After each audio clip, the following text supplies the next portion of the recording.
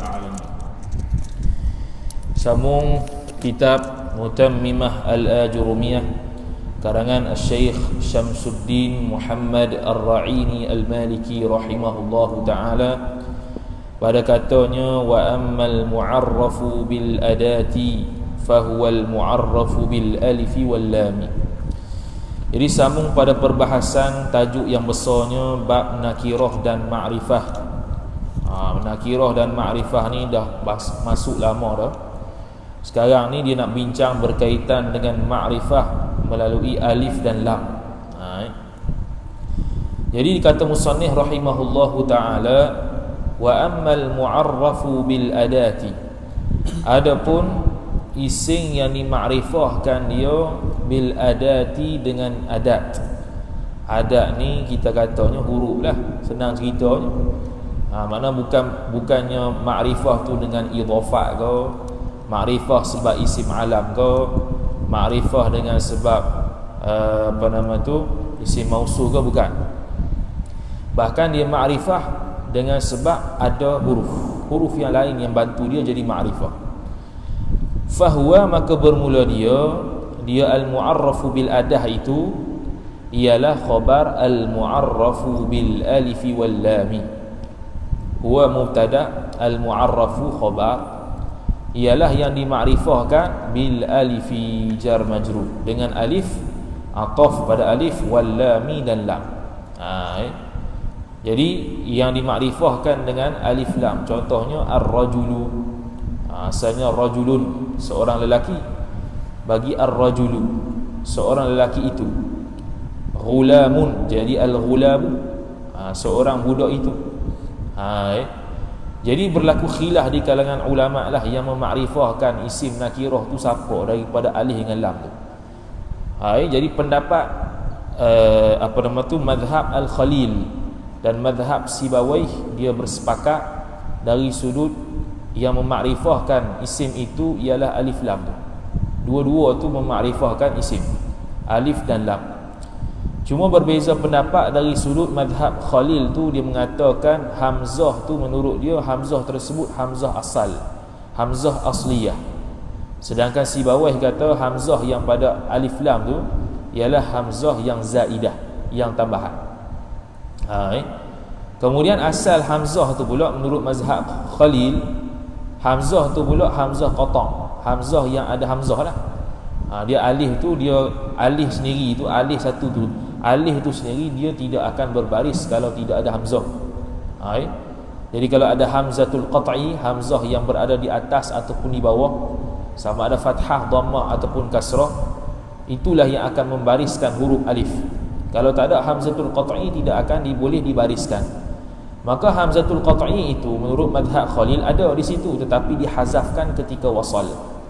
Dihazafkan ketika wasal. Bila kita wasalkan satu perkataan dengan perkataan yang ada alif lam maka hamzah qat' hamzatul qat'i itu tidak dibaca. Ha, contoh kita kata wasyamsi contohlah. Contoh alif lam tu dia makrifah dengan apa asyamsu tu dimakrifahkan dengan alif lam. Jadi kita tak baca wa asyamsi tak? Tapi wasyamsi Sambung terus waw dengan shin Tanpa dibacakan hamzatul qat'i bila wasal Ini madhab khalil eh? Jadi dihazahkan Kenapa hazah? Kerana kebanyakan orang menggunakan alih lam ni Tanpa disambung Eh tanpa disebutkan hamzatul qat'i ha, eh? Kerana banyak orang guna sangat al-al-al ni Maka dihazahkan hamzatul qat'i ha, Itu menurut mazhab khalil Uh, kalau mazhab si bawah dia kata alif pada alif lam tu alif zaidah. Ha, bukan alif asal. Memang zaidah tambahan. Walaupun begitu alif lam itulah yang memakrifahkan isim nakirah. Ha, itu perbezaan sedikit antara mazhab Khalil dengan mazhab Sibawih. Ada pendapat yang ketiga yang di yang yang berpendapat oleh al-Imam Al-Akhfash. Ha, ni semua imam-imam dalam nahwu belaka ni. Al-Akhfash mengatakan yang memakrifahkan naki, uh, yang yang memakrifahkan nakirah tu bukan alif lam tapi lam saja. Ha, eh. alif tu tak masuk campur. Hanya lam saja yang memakrifahkan isim tersebut bukannya alif. Kemudian lam tersebut dimatikan, disukunkan seperti mana yang kita tahu lam tu mati.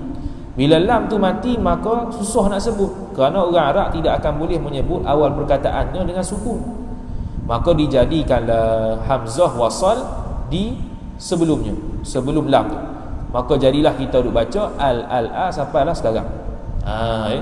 Kerana tidak mampu untuk menyebutkan lam dalam keadaan sukun di permulaan ayat. Maka diletakkan hamzah wasal supaya memudahkan lam tersebut untuk disebutkan.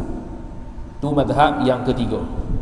Madhab yang terakhir iaitu Imam Al-Mubarrad rahimahullahu ta'ala dia mengatakan makrifah tersebut antara alif dengan lam yang memakrifahkan isim adalah hamzah itu sendiri iaitu alif. Ataupun kita bahasakan dengan hamzah lah kalau hamzah tidak ada hamzah uh, apa nama tu tidak dituliskan hamzah dia panggil hamzatul wasal. Kalau hamzah tu ditulis dia panggil hamzatul qat'i. Ha, jadi Imam Al-Mubarrad berpandangan bahawasanya yang memakrifahkan nakirah itu ialah alif sahaja bukannya lam. Sedangkan lam tu lam zaidah bukannya lam asal untuk memakrifahkan isim. Ha, eh. lepas tu buat apa ditulis lam padahal alif itu asal daripada untuk memakrifahkan isim nakirah kenapa ditulis lam juga Okey, lam tu ditulis kerana untuk membezakan hamzah yang memakrifahkan isim dengan hamzah istifham. Ha, hamzah istifham kadang-kadang berlaku untuk menanyakan sesuatu. Ha, itu hamzah istifham. Adakah? Apakah? Adakah lah? Adakah? Azaidun huna amla? Adakah Zaid di sini atau tidak? Ha, itu istifham tu. Jadi nak membezakan hamzah istifham dengan hamzah yang makrifah kita kata ni, maka ulama tambah lam. Jadilah dia tu membezakan antara hamzah istifham dengan hamzah yang memakrifahkan isim. Ha, itu antara pendapat-pendapat siapakah yang memakrifahkan isim nakirah bila ada alif alif lam. Kemudian alif lam ni pula terbahagi kepada dua. Ha, terbahagi kepada kepada dua jenis. Seperti mana kita bahas dulu alif lam dulu ada alif lam yang bernama yang pertama alif lam zaidah. Alif lam tambahan. Dia bukan alif lam asliyah. Dia alif lam zaidah. Apa maksud alif lam zaidah? Alif lam zaidah ni maksud dia kalau dia ada pun dia ada ke? Dia tak ada dia tak beri kesan pada isim contohnya lafaz zaidun.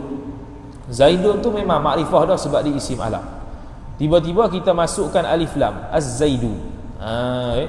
Adakah alif lam itu memakrifahkan zaid tidak alif lam tu bukan memakrifahkan zaid kerana zaid sudah makrifah tanpa alif lam Lepas tu alif lam tu apa? Alif lam tu dia panggil alif lam zaidah.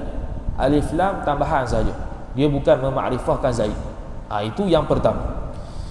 Sama lah Az-Zaidu ke Al-Abbas ke Al-Harith. Ha, tu semua kalau tidak ada alif lam boleh jadi makrifah kerana mereka tu isim alam. Ha, itu maksud alif zaidah. Kemudian yang keduanya ialah alif lam alif lam uh, asliyah.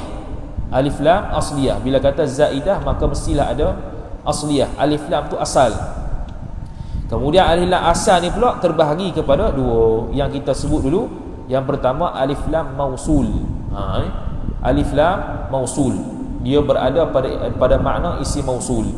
Contoh kita kata al madrub al madrub orang yang dipukulkan dia dia siapa? Dia seorang. Ha. jadi terjemahan jawi itu membantu untuk kita faham adakah dia ada dhamir mustati yang kembali kepada siapa? Marji' dhamir dia. Jadi al madrub yang dipukulkan dia dia tu kembali pada mana? Dia kembali pada al. Al tu al mausul al maf'ulu bihi. Al maf'ulu bihi bihi. Hi itu balik pada mana? Balik kepada al mausuliyah yang pada al maf'ul ha, eh? Ha tu disebut dalam hasyiah al asmawi al jurumiyah kemudian yang kedua uh, alif la asliyah itu yang keduanya ialah alif lam yang memakrifahkan isim. Ha, inilah yang kita nak bincang pada tajuk ni. Ha, pecahan alif lam tu banyak dak. Nak sampai ke alif lam makrifah tu sini. Okay? Jadi alif lam makrifah mana alif lam tersebut alif lam yang asal. Lagi pula alif lam tersebut alif lam yang memakrifahkan isim nakirah dengan makna kalau tidak ada alif lam maka isim tersebut akan jadi nakirah. Dengan sebab ada alif lam maka isim tersebut akan jadi makrifah. Okey, kemudian kata musannif rahimahullahu taala. Wahya dan bermula dia ha, dia uh, alif lam tu eh kejap. Uh, wahya dan bermula dia dia ada tu ta'rif. Ha. adat at-ta'rif iaitu alif lam lah ialah qismani khabar ha eh, ai zu qismaini. Mempunyai dua bahagian. Alif lam yang makrifah yang asliyah terbahagi kepada dua bahagian dia kata. Okey. Yang pertamanya apa? Ahdiyatun. Itu badal bagi qisman. Iaitu alif lam ahdi. Ahdi ni maksudnya ialah maklum. Ha, senang cerita lah. Maklum tu sehari dia akan bahagikan kepada tiga. Maklum-maklum tu Okey, al-adi. Okey satu. Kemudian wajinsiyatun dan jinsiyah jenis. Hak peseng jenis atau kepada ahdiyah hak tu pun dia akan bahagikan kepada beberapa bahagian. Ha, ada jinsiyah tu dengan makna untuk menenggelamkan segala afrad untuk untuk memasukkan segala afrad jenis-jenis. Dalam tu contoh annas. Kalau kita kata alilam alilam jinsi maka semua peseng jenis manusia masuk belaka dalam satu maksud ataupun satu lafaz yang bernama annas. Ha, contoh. Tu lagi ya. Kemudian habis dah. Ha, tu alif lam ada dua. Alif lam ahliyah alif lam jinsiyah. Kemudian dia bahagikan pula setiap satu daripada ahdiyah dengan jinsiyah tu dia huraikan pula ahdiyah tu ahdiyah apa jinsiyah tu jinsiyah apa. Maka kata musannif rahimahullahu taala wal ahdiyatu dan bermula ahdiyah itu. Ha, ahdiyah itu dia kata uh, imma lil ahdi. Ha, al ahdiyatu mubtada wa istinaf. Imma lil ahdi. Ha, khabar mahzuf. Ai imma sabitatun lil ahdi. Sama ada adalah ia ahdiyah itu lil ahdi dzikri. Az-zikri sifat bagi ahdi. Ai lil ahdi al mansubi ila dzikri. Ha yang termaklum yang termaklum nisbah sebut. Jadi ahdi zihni ini maksudnya benda tu kita dah sebut dah sebelum tu. Tiba-tiba dia sebut lagi. Ha tu bila sebut lagi tu dia tambah alif lam ya tak payah nak sebut semua. Tak sebut semua perkataan tak perlu. Sebut alif lam ya ganti daripada apa yang telah disebutkan sebelumnya. Maka alif lam tu alif lam lil ahdi dzikri ha, contohnya dia buat contoh. Fi zujajatin ni ayat Quran eh? Fi zujajah az-zujajah ha. az-zujajah tu alif lam tu alif lam lil ahdi dzikri sebab dia dah sebut dah sebelum tu zujajah dia sebutkan lagi az-zujajah benda yang sama tetapi hak tu maklum disebabkan telah disebutkan tadi ha, surah An-Nun ayat yang ke-35. Ha, itu yang pertama, lil ahdi zikri. Kemudian yang kedua, au ataf kepada ahdi zikri au lil ahdi zihni. Ai lil ahdi al-mansubi ila zihni. Iaitu maklum yang dibangsakan kepada akal. Ha. Benda tu tak sebut pun sebelumnya tapi maklum berdasarkan cerita, berdasarkan qarinah, berdasarkan dalil, berdasarkan sebutan orang lain, kita faham begitu, maka dia panggil lil ahdi dhihni. Ha, eh? Contohnya nahwu ai khabar mutlaq mahzuf ai wa mithalu wa mithalul ahdi lil ahdi dhihni. Ataupun wa mithalul ahdiyati lil ahdi dhihni itu nahwu ai nahwu qawlihi ta'ala. Ialah umpama firman Allah Ta'ala. Idh huma fil ghar. Eh? kerana bermula kedua-duanya iaitu Nabi Muhammad dan juga Abu Bakar As-Siddiq radhiyallahu taala anhu fil ghar. Di dalam satu gua. Gua mana? Ha tu. Dia tak sebut pun gua mana maka al-ghar di situ ma'ruf iaitu gua yang berada di Jabal Thur contohnya. Maka al-ghar tersebut al-ghar itu alif lam tersebut alif lam lil ahdi dhihni. Sebab walaupun dia tidak sebut sebelumnya ayat berkaitan dengan gua di mana maka maklum gua tersebut berada di mana. Tu dia panggil al ahdi dhihni. Ha, au lil ahdi al huduri atau pada kata lil ahdi dzikri lagi ataupun lil ahdi al huduri dia panggil. Lil ahdi maklum. Al huduri ay al mansubi ila al hudur. Yang dinisbahkan kepada hudur. Hudur ni sekarang. Hai hudur ni sekarang. Hal. Sekarang lah. Contohnya dia kata nahu ay wa mithalu al ahdi huduri. Bermula contoh al ahdi huduri itu nahu khabar. Ay nahu qaulika umpama kata engkau al yauma akmaltu lakum dinakum. Ha tu. Pada hari ini hari mana? Hari ini hadzal yaum ha, tu al-ahdi al-huduri. Hari mana ni? Hari khamis ke? Hari jumaat ke? Hari apa? Tak hari ini. Ha, tu dia panggil al-ahdi al-huduri. Hari ini tu rujuk pada hari ketika mana diturunkan Quran. Hari ini akmal tu telah menyempurnakan oleh aku fi'il fa'il lakum bagi engkau jar majru bagi kalian semua umat Nabi sallallahu alaihi wasallam maf'ulun bih dinakum akan agama kalian kum mudhafu ilaih ha, eh? tu surah Al-Maidah ayat yang ketiga. Ha, jadi al-ahdi ini ada terbahagi kepada tiga. Biasanya kita dengar al-ahdi zikri dengan ahdi zihni saja. Ahdi al-huduri jarang dengar sebab jarang berlaku. Biasa dalam kitab-kitab dia dia al-ahdi zikri ataupun al-ahdi zihni saja. Al-ahdi al-huduri jarang berlaku lah. Ha, eh. Kemudian seterusnya wal jinsiyatu. Wow istinaf bermula jinsiyah pula ha, alif lam jinsiyah itu imma li ta'rifil mahiyati ai imma sabitun li ta'rifil mahiyati sama ada sabit ia untuk mengenalkan atau eh, bukan li ta'rifi bermakna li ta'yin untuk menentukan mahiyah di sesuatu perkara. Hakikat satu perkara mahiyah tu. Mahiyah tu asal pada pertanyaan mahiyah apakah dia? Ha, maka dia pun sebut al-mahiyah. Al-mahiyah ni hakikat sesuatu. Jadi ada juga jinsiyah alif lam jinsiyah ini untuk menentukan hakikat sesuatu. Contoh. Ha, dia bagi contoh tak ha, dia, ha, dia bagi contoh. Nahu ay wa mithalu al-jinsiyati li ta'rifil mahiyah nahu qawlihi ta'ala. Seumpama firman Allah ta'ala waja'alna minal ma'i kulla shay'in hayy. Surah al-anbiya ayat 30 waja'alna dan menjadikan oleh kami minal ma'i jar majru daripada air. Ja'alna fi'i fa'i ha ja'alna tu i'rab panjang tu. Ha tu.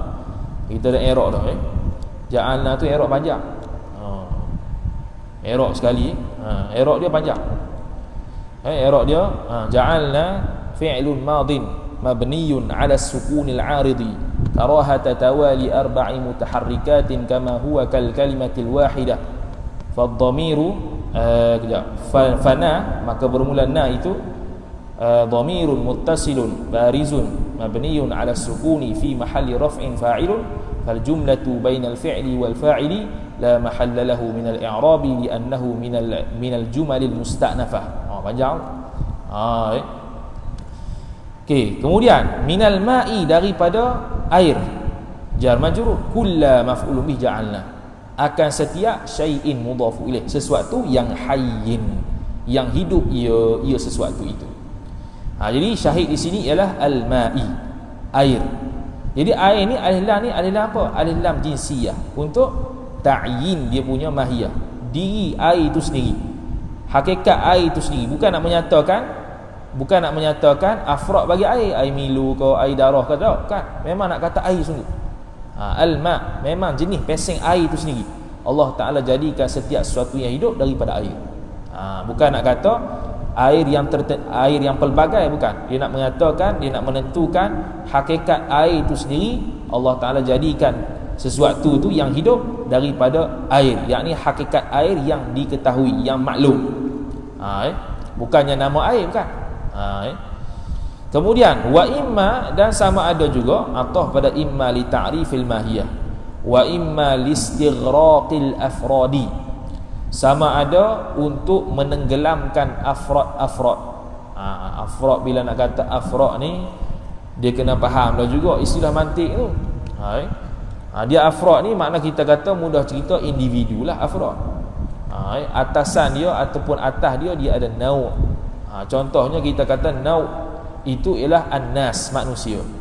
Maka afradnya contoh Muhammad Ali Ahmad. Ha, semua tu adalah manusia ha, Ahmad Muhammad Ali itu dia panggil afrad. Dia panggil sebagai afrad. Air air tu nau. Kemudian afrad air air milu air teh. Ha, tu semua afrad bagi air.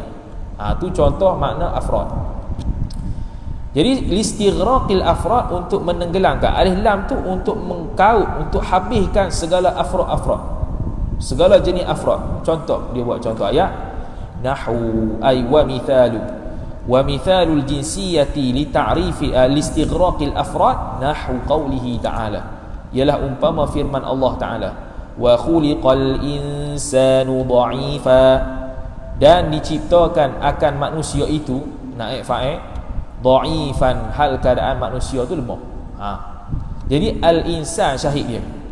Al-insan tu alif lam alif lam jinsiyah listighraqil afrad. Maksudnya untuk menyatakan semua peseng manusia diciptakan dalam keadaan lemah. Ha, eh? sama ada Muhammad ataupun Ahmad. Ha, masuk apa ya? Afrad. Ahmad, Muhammad, Ali, Umar, Abu Amrin semua masuk lego. Di kalangan al-insan. Alif lam di situ alif lam lil ahdi eh, alif lam lil jinsiyah listighraqil afrad. Ha, eh? Kemudian kenapa dhaifan? Dhaifan, dhaifan lemah. Kenapa manusia diciptakan dalam keadaan lemah? Lemah tu masuk apa? Dengan makna maghluban bisyahwat. Mereka ni manusia dikuasai oleh syahwat. Ha, dikuasai oleh syahwat kecuali Allah Subhanahu Wa Taala memeliharakan orang tersebut daripada uh, gelora syahwat maka dia tidak akan berbuat maksiat kepada Allah Subhanahu Wa Taala seperti para anbiya dan para rasul rasul alaihi wassalam. Ha, okey surah An-Nisa ayat 28 ataupun au yakni ataupun atau lagi pada istighraq uh, atau lagi pada li ta'rifil mahiyah. Ataupun jinsiyah itu uh, listighraqi uh, ada li ya kalau nusrah itu tak ada lam tu ada li.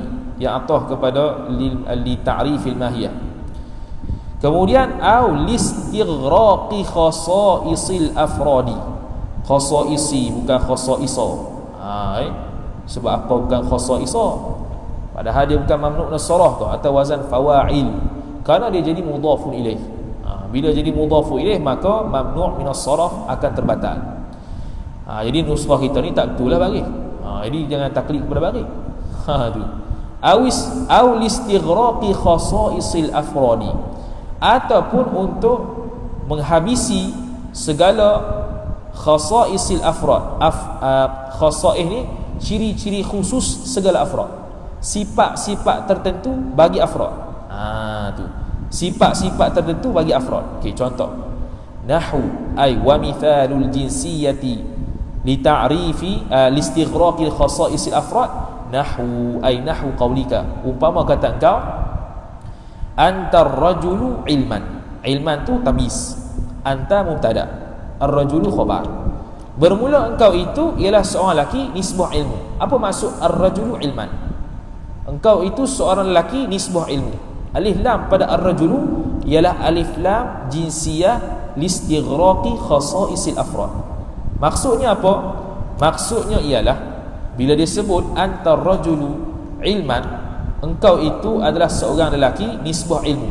Maknanya keilmuan lelaki tersebut kalau dibandingkan dengan orang ramai Contoh kita kata ada seribu orang lelaki. Seribu orang lelaki berilmu belaka. Semua ilmu seribu orang lelaki itu Ada pada seorang Seorang lelaki tersebut. Ah, tu dia panggil mubalaghatun fi ilmihi.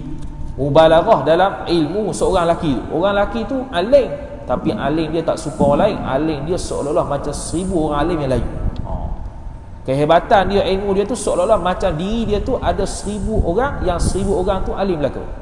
Ha, eh? Tu sifat yang khusus bagi afrad. Ha, eh? Seribu orang alim. Tapi ilmu seribu orang alim tu ada pada seorang. Ha, itu anta ar-rajulu ilman. Engkau itu seorang lelaki nisbah ilmu. Iaitu maksud apa? Untuk memuji dia. Mubalaghatun fi ilmi rajul secara mubalaghah menunjukkan kepada keilmuan seorang lelaki itu seolah-olah ilmu orang lelaki tersebut berada pada beribu-ribu orang lelaki alim yang lain. Ha. hanya pada seorang saja. Contoh Imam Syafi'i alim.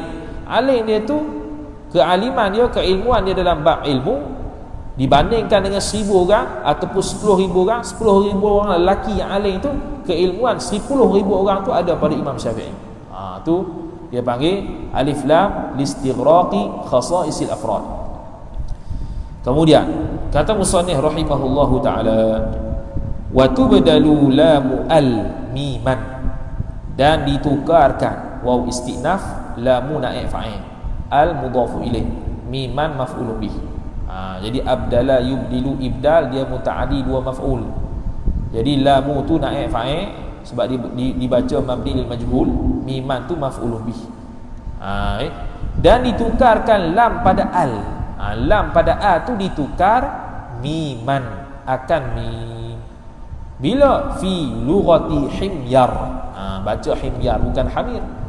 Ha, eh? dia atas wazan dirham. Himyar dirham. Jadi kadang-kadang alif lam tu ditukarkan dengan lafaz alif mim pada sebahagian lughah sebahagian bahasa iaitu bahasa himyar. Nabi sallallahu alaihi wasallam pernah bertutur dengan bahasa himyar. Nabi sallallahu kata laisa minim birrin imsiyamun fi safar. Ha, asalnya kalau kalau ikutkan laisa minal birri as-siyamu fi safar. Bukanlah satu daripada kebaikan kalau seseorang itu puasa ketika mana musafir. Ha, mana tutup rusuh lah tapi Nabi SAW kata laisa minim birrin laisa minil birri imsiyamu fim safar ha, tu bahasa himyar. Nabi SAW pernah bercakap dalam bahasa himyar. Alif lam tu tukar jadi alif mim.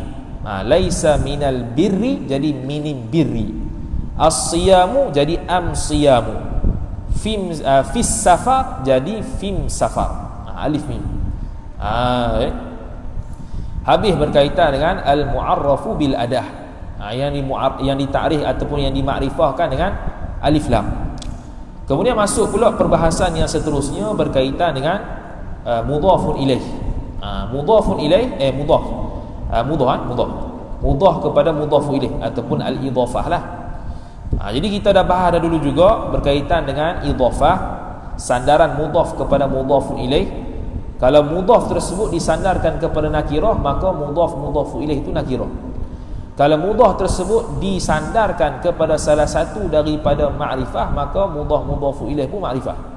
Ha, contoh kita kata uh, apa nama tu?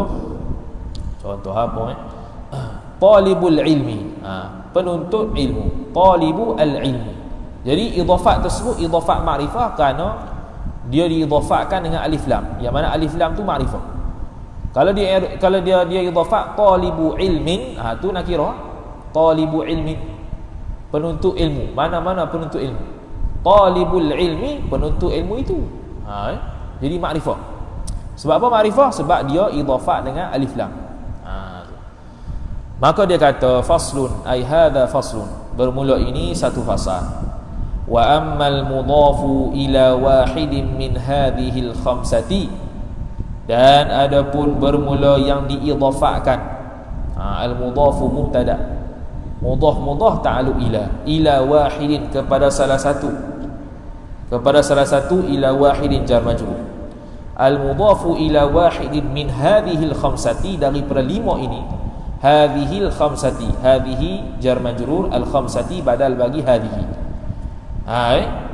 jadi yang diidhafahkan daripada lima lima mana lima hak dulu ha iaitu idhafah dengan dhamir idhafah dengan isim alam idhafah dengan isim isyarah idhafah dengan uh, apa nama tu?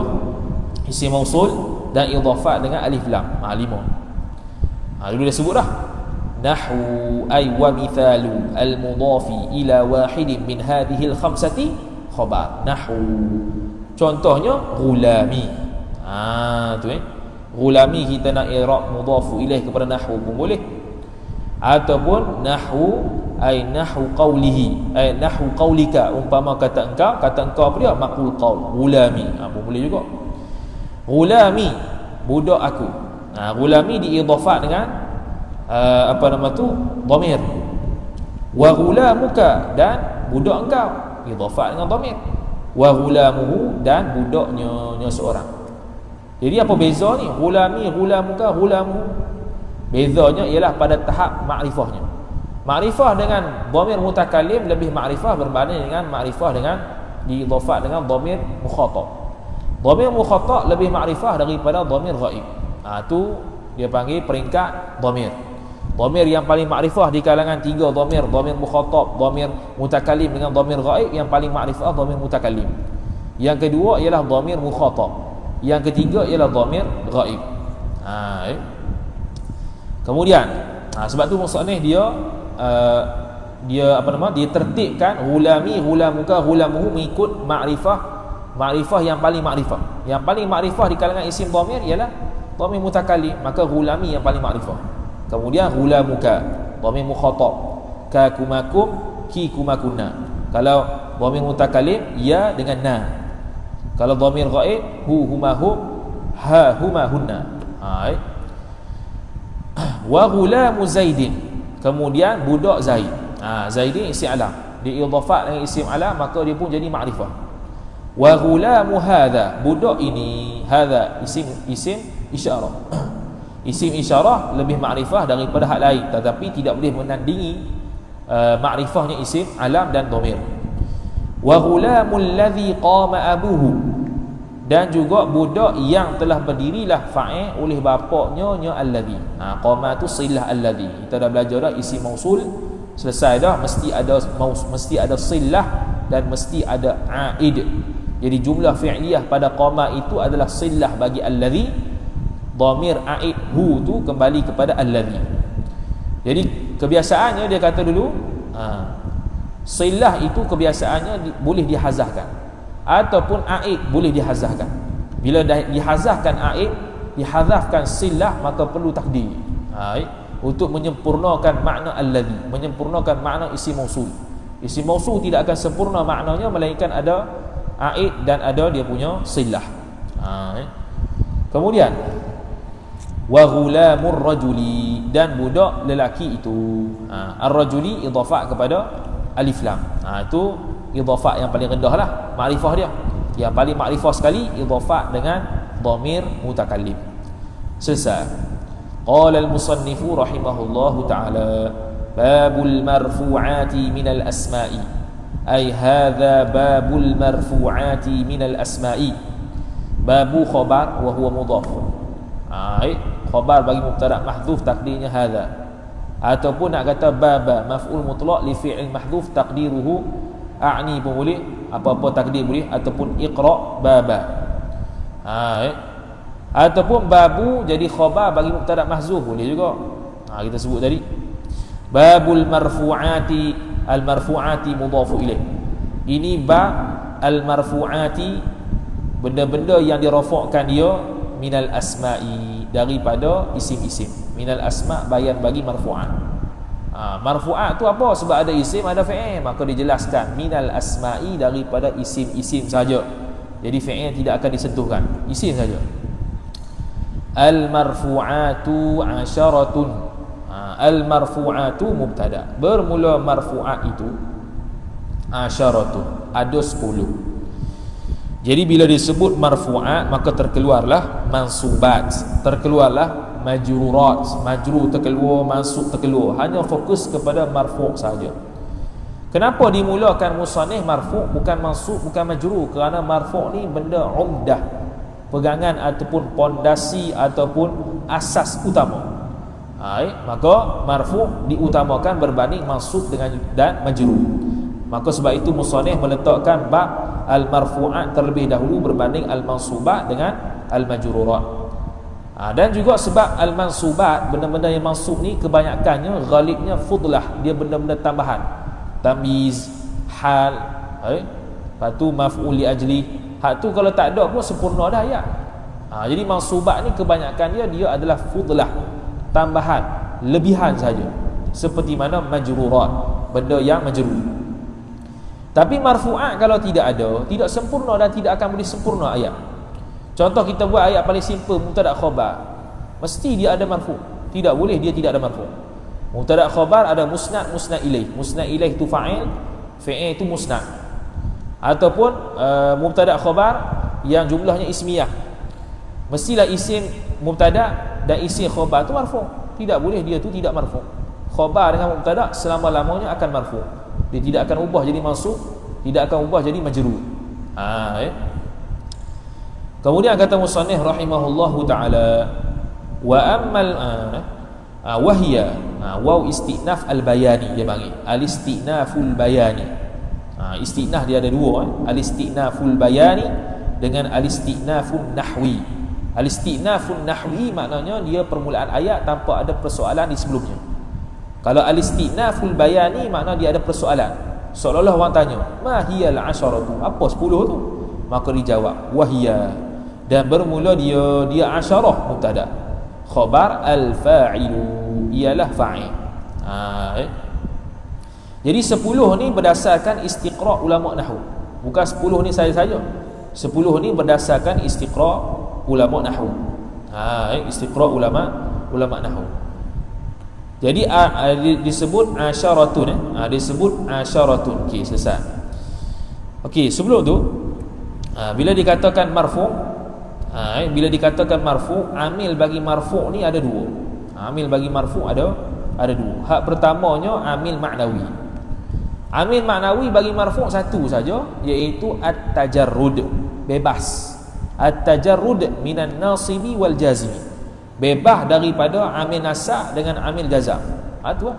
tu dia marfu eh tu dia panggil amil maknawi dia tidak ada pada lafaz dia secara makna saja iaitu uh, apa nama tu alif tidak ataupun at-tajarrud at-tajarrud dua dua bukan satu dua at-tajarrud ay at-tajarrud minan nasibi wal jazimi bebas daripada amil nasab dengan amil jazam dan yang kedua alif tidak alif tidak ni per, ber, apa permulaan ayat Ha, contoh mubtada huwa qaimun. Huwa mubtada. Amil dia adalah ibtida.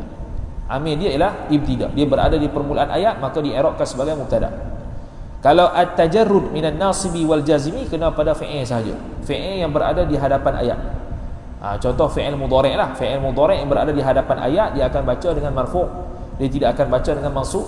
Dia tidak akan baca dengan jazam kerana tidak ada amil jazam dan tidak ada amil nasab yang boleh menasabkan dan boleh menjazamkan fi'il itu ha, tu amil maknawi yang kedua dia panggil amil uh, apa nama tu dia panggil sebagai amil lafzi amil yang memarfukan sesuatu itu secara lafaz. Memang ada lafaznya.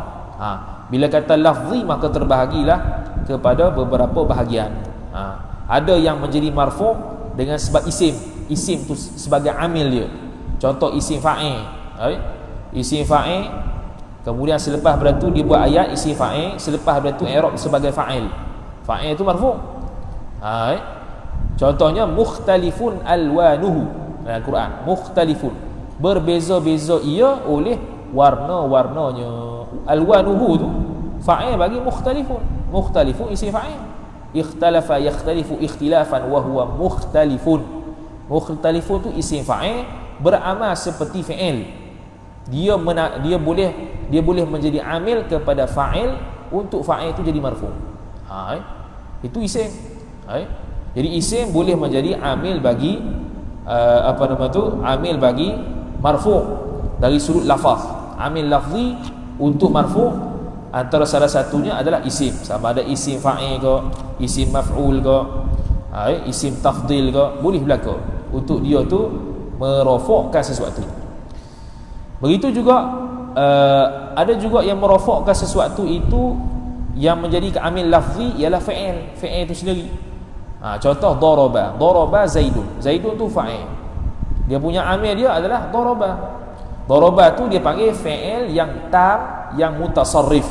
Tam ni makna sempurna. Sempurna di sini maksudnya fa'il tersebut perlu kepada fa'il. Ha, sebab fa'il ada dua, fa'il tam, fa'il naqis. Kalau fi'il naqis kana yakunu tu, hak tu tak perlu kepada fa'il, hak tu perkena eh, itu perlu kepada isim dan khabarnya. Isim kana dengan khabar kana. Dia tidak ada fa'il. Jadi bila sesuatu fi'il ada fa'il, maka fi'il tersebut dia panggil fi'il tam.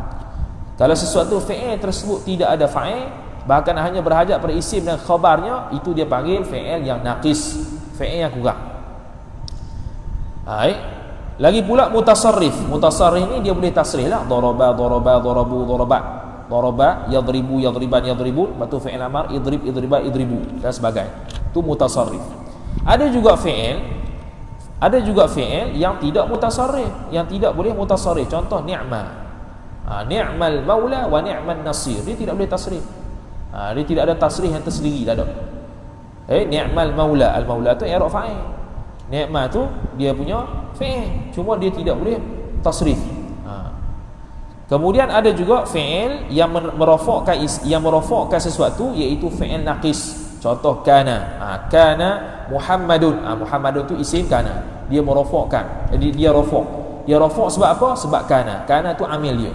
Muhammadun tu jadi ma'mul ha, eh? kemudian ada juga fi'il yang naqis lagi pula tidak mutasarrif. Kalau kana dengan yakunu tu fi'il naqis yang mutasarrif. Kana kana kanu kanat. Yakunu yakunan yakunun. Ha, dia boleh tasrif ada fi'il naqis yang tidak boleh tasrif contoh laisa. Ha, laisa antara daripada fi'il naqis. Lagi pula tidak boleh tasrif dia tidak ada fi'il mudhari. Dia hanya laisa. Laisa tu khilaf juga.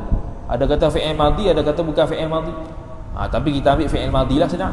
Sebab apa? Sebab dia ada dhamir mustatir yang kembali kepada sesuatu. Laisa laisa ay laisa huwa. Laisa laisa laisu. Ha tu dia punya tasrif fi'il madhi lah. Fi'il mudhari tak ada dah. Laisa yal yasu tak ada ha, dia tak ada. Fi'il amal lagi tak ada. Kemudian kata musannif rahimahullahu taala wal maf'ulu alladhi lam yusamma fa'iluhu.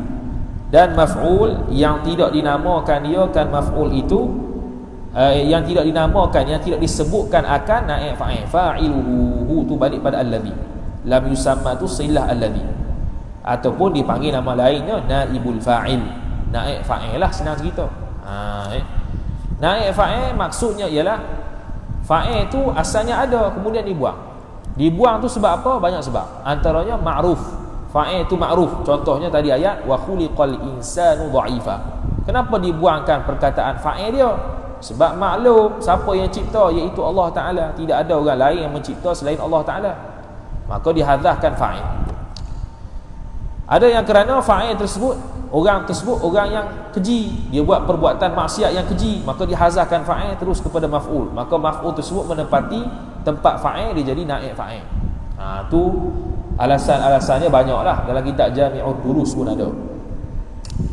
Kemudian wal mubtada'u wa khabaruhu wa khabarul mubtada'i. Dan mubtada' mubtada' pun jenis peseng marfu' juga. Dan khabarnya khabar bagi mubtada' khabar bagi mubtada' pun marfu' juga. Ha. Cuma khabar amil dia apa? Amil dia adalah mubtada. Ha, eh? khabar ni khilaf lah. Ada yang kata amil dia mubtada, ada ada yang kata amil dia ialah ibtida. Amil maknawi. Cuma pandangan mu'tamad, amil bagi khabar ialah mubtada, bukannya ibtida. Ha, eh? Wasmu kana wa akhawatiha wa akhawatikana. Dan isim kana. Semua tu atah pada fa'il belaka.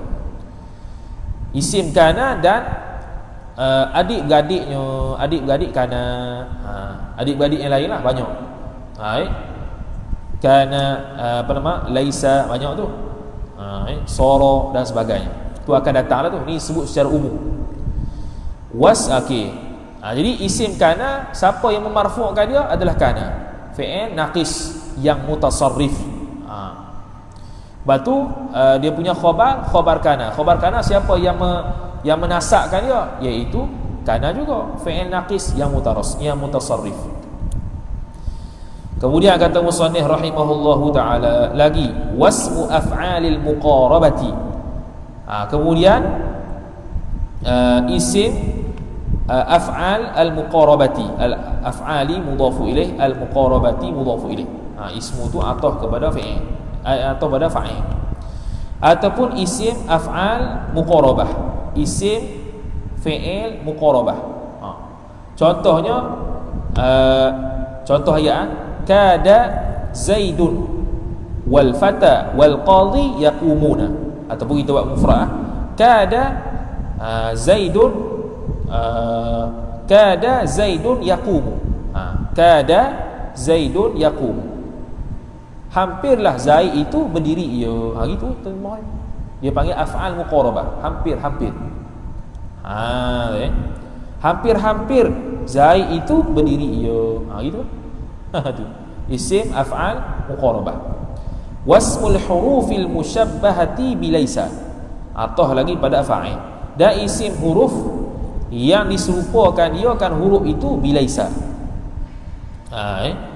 isim huruf yang diserupakan dia kan huruf tu dengan laisa ha, Al-musyabbahati itu sifat bagi huruf. Ismu tu atah pada fa'il Al-hurufi itu mudhafu ilaih bilaisa dengan laisa. Okey kita ambil laisa dulu. Kalau laisa dia uh, memarfu'kan isim menasakkan khabar ha, contoh laisa zaidun qa'iman.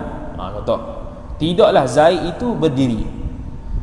Jadi ada tak isim lain isim huruf yang lain yang diserupakan dengan laisa? Ada. Contohnya ma ha, ma yang beramal dengan amal laisa. Ha, tu bahasa dia.